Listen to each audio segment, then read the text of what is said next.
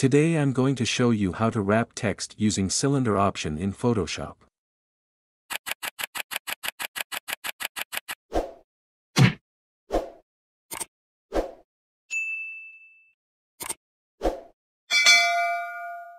First go to File.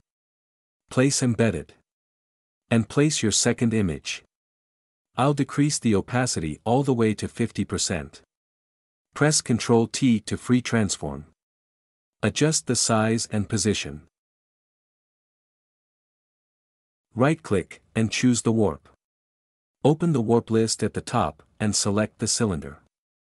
Now use the handles to determine the right bend for the water tank body. Hit enter once you're satisfied. Set the opacity back to 100%. And change the blending mode of this layer from normal to screen. Click the FX icon and choose the blending options.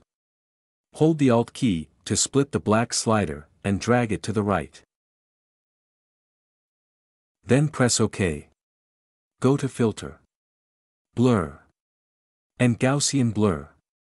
Decrease the radius all the way to 3 pixels.